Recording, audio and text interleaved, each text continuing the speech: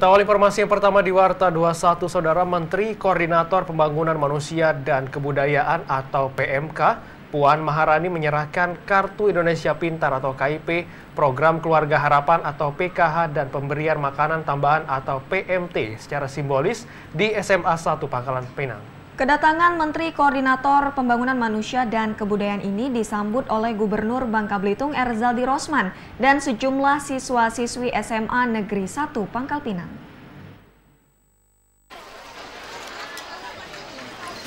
Sebanyak 650 orang di Bangka Belitung secara simbolis menerima bantuan Kartu Indonesia Pintar atau KIP, Program Keluarga Harapan atau PKH, dan pemberian makanan tambahan atau PMT dari Menteri Koordinator Pembangunan Manusia dan Kebudayaan atau PMK Puan Maharani.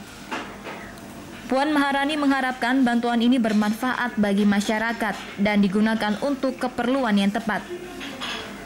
Menurut Puan Maharani, setiap penerima kartu akan didampingi oleh petugas pendamping yang ditugaskan untuk membantu dan mengawasi penggunaan kartu tersebut.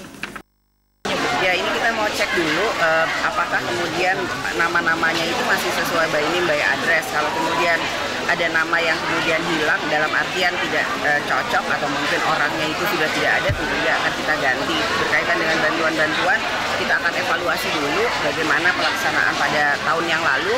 Kalau memang kemudian tahun ini perlu ada penambahan tentu saja akan kita tambah. Kalau memang sudah cukup ya itulah yang akan kita berikan. Karena yang paling penting itu adalah juga laporan dari kepala daerah untuk memberikan data orang miskinnya itu apakah memang masih ada atau masih tetap atau kemudian bertambah atau berkurang. Kembali ke tips dari ada imbauan Bu kepada pajak tidak menggunakan uang main di warnet Bu. Apa? Untuk tidak menggunakan uang kit untuk main warnet. Ya pastilah. Jadi jangan sampai Sementara itu, Gubernur Kepulauan Bangka Belitung Erzaldi Rosman mengungkapkan, kedatangan Menteri Koordinator Pembangunan Manusia dan Kebudayaan Puan Maharani ini ke Provinsi Bangka Belitung, ke depannya diharapkan semakin banyak bantuan mengalir ke Provinsi Bangka Belitung. Nah, kita bersyukur tadi langsung diserahkan oleh uh, Menko Ibu Puan Maharani yang mudah-mudahan kartu itu dapat dimanfaatkan dan digunakan sesuai dengan aturannya. Tadi kan sudah diarahkan oleh Ibu Menteri, ini untuk siapa kartu uh, uangnya, untuk ibu dan anaknya. Jadi bapaknya tidak usah, ya bapaknya nanti dapat kartu yang lain kalau ada.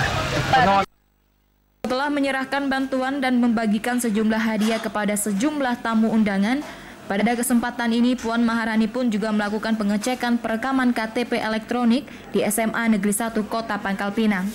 Dari dari Pangkal Pinang, Dwi Astri mewartakan.